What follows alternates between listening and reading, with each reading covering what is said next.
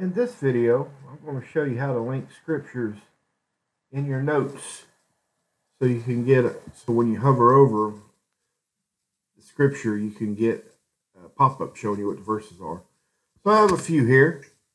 And just to show you quickly, the, the typical format in older tutorials is going to say use three letters of the book, the number, colon, and verse or number, colon, and verse range where you use a hyphen between them.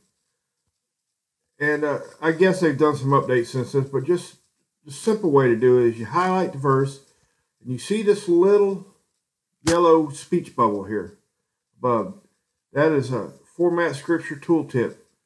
It automatically links that for you. Now, if you hover over it, you see the verse without having to actually go there. Now, here's one where I'm not using a colon, I'm using a period instead. That also corrects it for you, puts the colon in for you.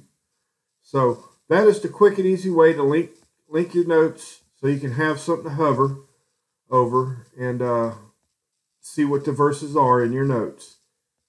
I hope this helped. If it helped you, how about leaving a thumbs up, like, comment, subscribe. Let's get this channel out there. You have a good day.